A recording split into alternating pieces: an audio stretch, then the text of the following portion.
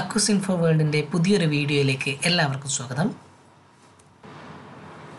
Microsoft word tutorial സീരീസിലെ പത്താമത്തെ video ആണിത്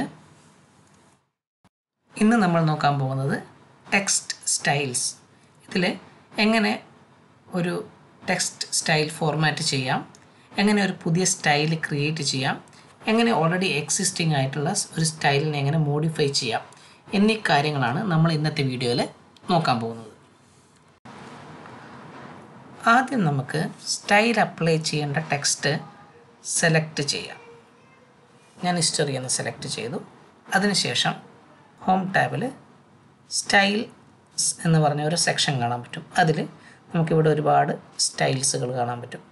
ഇതിൽ ഓരോന്നിന്റെ മുകളിലൂടെയും മൗസ് പോയിന്റർ കൊണ്ടുപോകുമ്പോൾ നമ്മൾ സെലക്ട് ചെയ്ത ടെക്സ്റ്റ് ആ ഒരു സ്റ്റൈലിൽ എങ്ങനെ ഇരിക്കുന്നു എന്ന് നമുക്ക് പ്രിവ്യൂ കാണാൻ പറ്റും. നമുക്ക് ഇഷ്ടപ്പെട്ട ഒരു സ്റ്റൈൽ എത്തിക്കഴിഞ്ഞാൽ നമുക്കത് സെലക്ട് ചെയ്യാം. നമുക്ക് കൂടുതൽ സ്റ്റൈൽസ് വേണമെങ്കിൽ ഇവിടെ കാണുന്ന ഏറോ മാർക്കിൽ ക്ലിക്ക് ചെയ്ത് കഴിഞ്ഞാൽ കൂടുതൽ ഓപ്ഷനുകൾ ഓപ്പൺ ആയിട്ട് വരും. നമുക്കിതിൽ നിന്ന് ഇഷ്ടമുള്ള ഒരു സ്റ്റൈൽ സെലക്ട് ചെയ്യാം.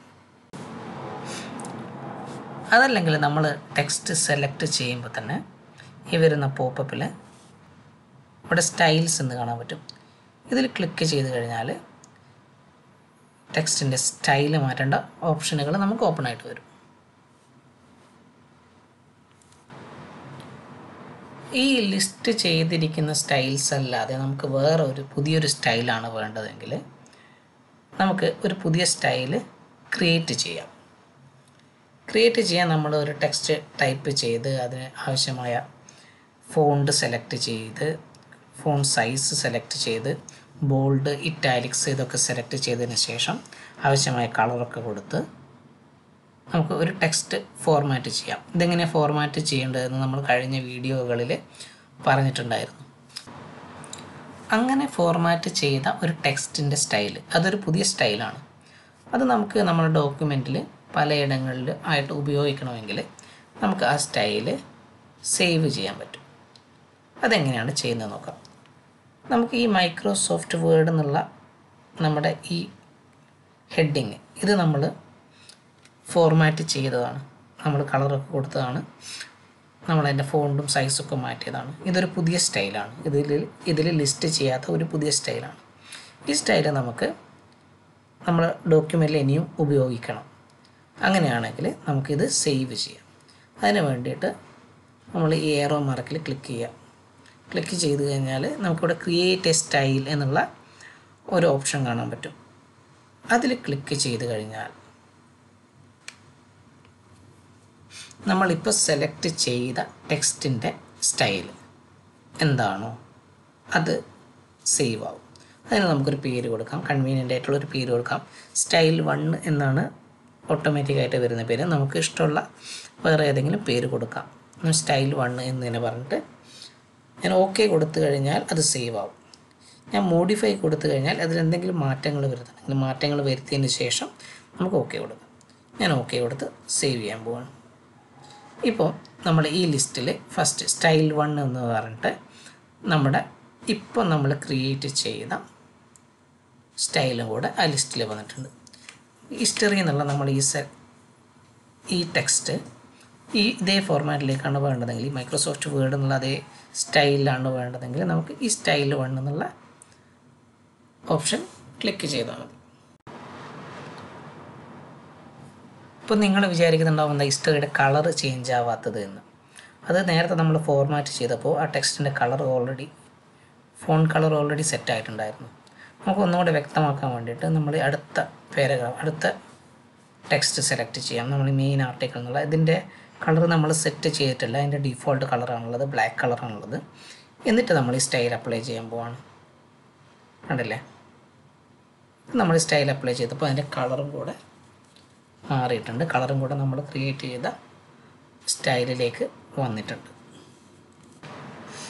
നമുക്ക് ഈ ഹിസ്റ്ററിയുടെ കളറും കൂടെ ചേഞ്ച് ചെയ്യണമെങ്കിൽ അത് ഈ മൈക്രോസോഫ്റ്റ് വേർഡ് എന്നുള്ള അതേ ഇതേ സ്റ്റൈൽ വണ്ണിന്റെ സ്റ്റൈൽ തന്നെ വരണമെങ്കിൽ എന്താണ് ചെയ്യേണ്ടതെന്ന് നോക്കാം. അതിന് വേണ്ടി നമ്മൾ ഈ ഏറോ മാർക്കിൽ ക്ലിക്ക് ചെയ്യാം.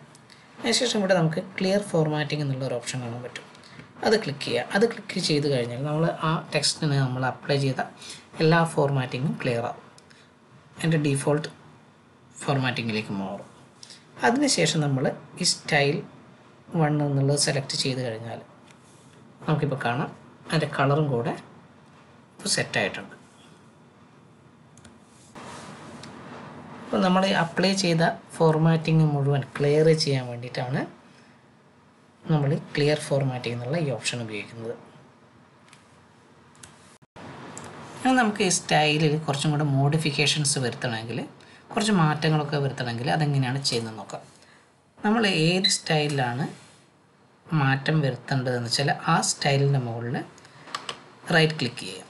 റൈറ്റ് ക്ലിക്ക് ചെയ്ത് കഴിഞ്ഞാൽ നമുക്ക് ഇവിടെ മോഡിഫൈ എന്നുള്ളൊരു ഓപ്ഷൻ കാണാൻ പറ്റും. അതിൽ ക്ലിക്ക് ചെയ്യാം.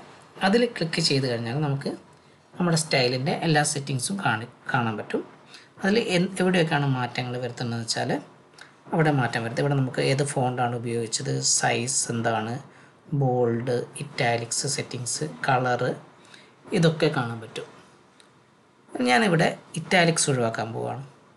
അതേപോലെ കളറ് ഗ്രീൻ ആക്കാൻ പോവുകയാണ് ഈ രണ്ട് ചേഞ്ചസും വരുത്തിയിട്ട് ഞാൻ ഓക്കെ കൊടുത്തു കഴിഞ്ഞാൽ നമ്മൾ നമ്മുടെ ഡോക്യുമെന്റിൽ എവിടെയൊക്കെ ഈ സ്റ്റൈൽ ഉപയോഗിച്ചിട്ടുണ്ടോ ആ ടെക്സ്റ്റിന്റെ എല്ലാം സ്റ്റൈൽ മാറുന്നതായിട്ട് നമുക്ക് കാണാം.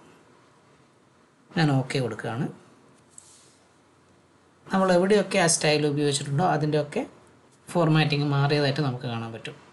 അപ്പോൾ നമുക്ക് ഇതേപോലെ ഒറ്റയടിക്ക് ഒരുപാട് സ്ഥലങ്ങളിൽ ചേഞ്ചസ് വരുത്തണമെങ്കിൽ നമ്മൾ ഇതേപോലെ സ്റ്റൈൽ ഉപയോഗിച്ച് അല്ലെങ്കിൽ സ്റ്റൈൽ മോഡിഫൈ ചെയ്ത് കഴിഞ്ഞാൽ നമുക്ക് ഒരുപാട് സമയം ലാഭിക്കാം. നമ്മൾ ഓരോ ഡോക്യുമെന്റിൽ ഓരോ ഭാഗത്ത് പോയിട്ട് ടെക്സ്റ്റ് ഫോർമാറ്റ് ചെയ്യുന്നതിന് പകരം ഒരു സ്റ്റൈൽ ക്രിയേറ്റ് ചെയ്യാം. ആ സ്റ്റൈൽ നമ്മൾ ഓരോ ടെക്സ്റ്റിന് ഉപയോഗിക്കാം. എന്നിട്ട് നമുക്ക് അഥവാ ചേഞ്ചസ് വരുത്തണമെങ്കിൽ ആ സ്റ്റൈൽ മോഡിഫൈ ചെയ്യാം. ഇതായിരിക്കും നമുക്ക് കുറച്ചും കൂടെ സമയലാഭം ഇനി അടുത്തതാണ് അപ്ലൈ സ്റ്റൈൽ നമ്മൾ സെലക്ട് ചെയ്ത ടെക്സ്റ്റിന് ഒരു സ്റ്റൈൽ അപ്ലൈ ചെയ്യണമെങ്കിൽ അത് നമ്മൾ ചെയ്യേണ്ടത് അപ്ലൈ സ്റ്റൈൽ എന്നുള്ള സ്റ്റൈൽ എന്നുള്ള ഓപ്ഷൻ ക്ലിക്ക് ചെയ്യുക. ഈ അപ്ലൈ സ്റ്റൈൽ എന്നുള്ള ഓപ്ഷൻ സെലക്ട് ചെയ്യാനുള്ള keyboard shortcut control shift S നമ്മൾ കീബോർഡിൽ കൺട്രോൾ ഷിഫ്റ്റ് എസ് എന്ന് ടൈപ്പ് ചെയ്ത് കഴിഞ്ഞാൽ അപ്ലൈ സ്റ്റൈലിന്റെ ഡയലോഗ് ബോക്സ് ഓപ്പൺ ആയിട്ട് വരും. നമ്മൾ ഏത് ടെക്സ്റ്റാണോ ചേഞ്ച് ചെയ്യുന്നത് വേറെ സ്റ്റൈലിലേക്ക് ചേഞ്ച് ചെയ്യേണ്ടത്. ആ ടെക്സ്റ്റ് സെലക്ട് ചെയ്യുക. അല്ലെങ്കിൽ നമുക്ക് നമുക്കൊരു എന്റെയർ പാരഗ്രാഫ് അതേപോലെ സ്റ്റൈൽ ചേഞ്ച് ചെയ്യണമെങ്കിൽ നമ്മൾ എന്റെയർ പാരഗ്രാഫ് സെലക്ട് ചെയ്യണമെന്നില്ല. പാരഗ്രാഫിൽ എവിടെയെങ്കിലും ക്ലിക്ക് ചെയ്യുക. അതിനുശേഷം അപ്ലൈ സ്റ്റൈൽ ഓപ്പൺ ചെയ്യുക. അതിനുശേഷം നമ്മൾ ഇവിടെ ഏത് സ്റ്റൈലാണോ അപ്ലൈ ചെയ്യേണ്ടത് ആ സ്റ്റൈലിന്റെ പേര് ടൈപ്പ് ചെയ്യുക. ആ ടൈപ്പ് ചെയ്തതിന് ശേഷം നമുക്കിവിടെ കാണുന്ന അപ്ലൈ എന്നുള്ള ബട്ടണിൽ സെലക്ട് ചെയ്ത സ്റ്റൈൽ ഈ ടെക്സ്റ്റിന് അപ്ലൈ ചെയ്യാം. നമുക്കതിൽ മോഡിഫിക്കേഷൻസ് വരുത്തണമെങ്കിൽ ഈ മോഡിഫൈ എന്നുള്ള ബട്ടണിൽ ക്ലിക്ക് ചെയ്ത് കഴിഞ്ഞാൽ ആ സ്റ്റൈലിന് മോഡിഫിക്കേഷൻസ് വരുത്താനും പറ്റും. ഇത്രയുമാണ് സ്റ്റൈൽ ഫോർമാറ്റിങ്ങിനെ കുറിച്ച് പറയാനുള്ളത്. നിങ്ങൾക്ക് ഈ വീഡിയോ ഇഷ്ടമായെങ്കിൽ ലൈക്ക് ചെയ്യുക ഷെയർ ചെയ്യുക. കൂടുതൽ വീഡിയോസ് നിങ്ങൾക്ക് ലഭിക്കാൻ വേണ്ടി ചാനൽ സബ്സ്ക്രൈബ് ചെയ്യുക. മൈക്രോസോഫ്റ്റ് വേർഡിനെ കുറിച്ചുള്ള കൂടുതൽ ഡീറ്റെയിൽസുമായിട്ട് നമുക്ക് അടുത്തൊരു വീഡിയോയിൽ കാണാം.